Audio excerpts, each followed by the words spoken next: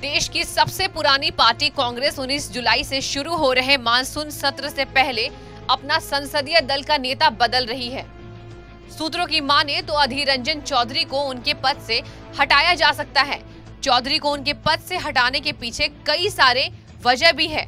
जैसे विपक्षी पार्टियों के साथ तालमेल का अभाव, सदन में प्रभावशाली नेतृत्व नहीं दे पाना और धारा 370 पर दिए गए उनके बयान से तो पूरी पार्टी की साख ही दाव पर लग गई थी।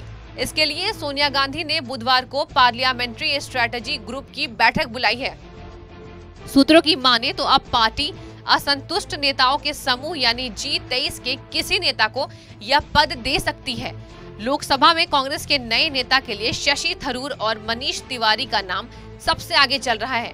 माना जा रहा है कि पार्टी जी तेईस नेताओं में से किसी को यह पद देना चाहती है।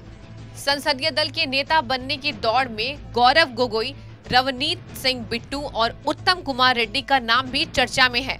कहा तो यह भी जा रहा है कि पार्टी अध्यक्ष सोनिया गांधी और राष्ट्रीय महासचिव प्रियंका गांधी वाड्रा ने लोकसभा के सदन नेता के पद के लिए राहुल गांधी से बात की है।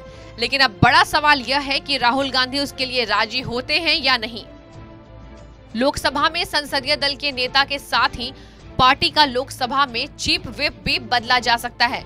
सूत्रों की माने तो पार्टी दोनों ही पदों के लिए नए नामों का ऐलान लोकसभा अध्यक्ष द्वारा बुलाई गई ऑल पार्टी मीटिंग से पहले ही कर देगी।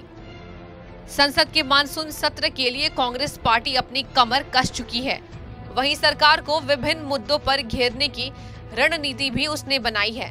उसी के तहत पार्टी अब इन दोनों ही जिम्मेदार पदों पर अपने विश्वसनीय सिपह सालारों की नियुक्ति करके अन्य विपक्षी पार्टियों का सहयोग प्राप्त करना चाहती है। इसलिए पार्टी मानसून सत्र से पहले इतने बड़े बदलाव की तैयारी कर रही है।